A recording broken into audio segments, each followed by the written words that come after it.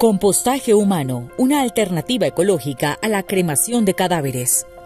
Recientemente, y a causa de las alarmantes cifras de mortalidad por la pandemia del COVID-19, se ha abierto un intenso debate alrededor de la afectación que produce al medio ambiente algunas prácticas como la cremación de cadáveres. A esta polémica se ha sumado una alternativa ecológica de reducción orgánica, mejor conocida como compost humano que consiste en convertir los tejidos y órganos de un cadáver en abono útil para las tierras. De acuerdo con reportes de Infobae, cuando una persona muere, existen dos maneras estándar de proceder con su cuerpo, el entierro o la cremación. Pero en los Estados Unidos se ha comenzado a legalizar una tercera, el compost de humanos. El estado de Washington fue el primero en aprobar el método y en Colorado este año se discutirá la ley. El compostaje es una práctica de larga data donde se transforman los residuos orgánicos como alimentos o excreciones en abono natural para ser luego utilizado en jardinería o agricultura. Este tipo de abono orgánico generalmente no requiere el uso de ningún químico para acompañar o potenciar su efectividad,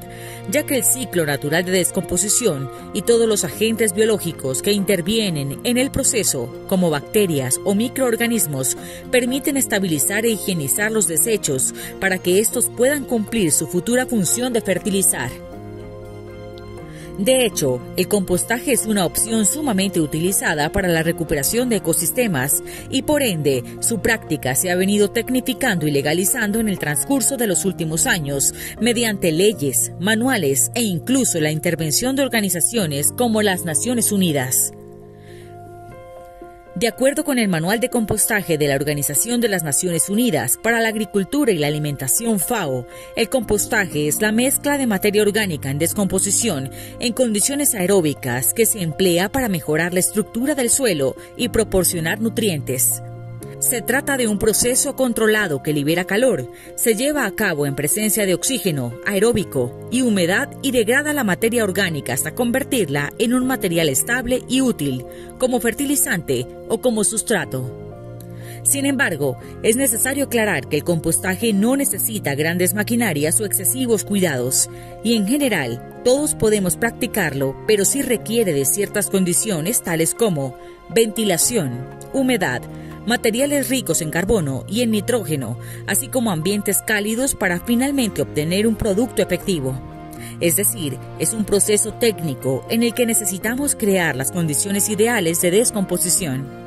Por esta razón, el compostaje humano se aleja de prácticas como el enterramiento, donde el mismo medio ambiente se encarga de descomponer y aprovechar los desechos orgánicos provenientes de cadáveres.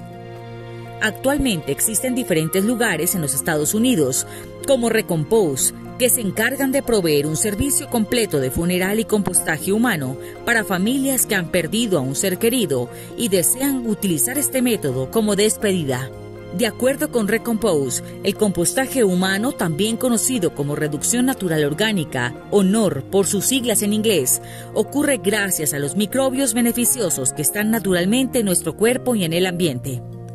El proceso de compostaje humano comienza cuando se ubica el cuerpo de su ser querido en una cama rodeada de astillas de madera, alfalfa y paja. Esta especie de cuna o cama se coloca en una cápsula de recompose y se cubre con más material vegetal.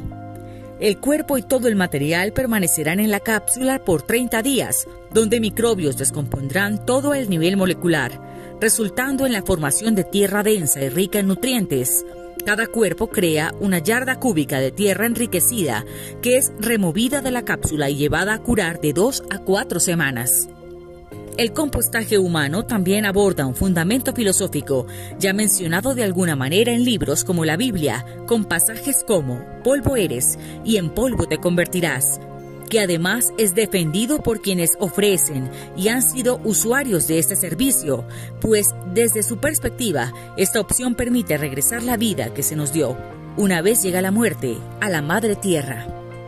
Para conocer más sobre este tema, conéctate con lo más relevante para médicos, pacientes y profesionales de la salud en www.medicinesaludpublica.com.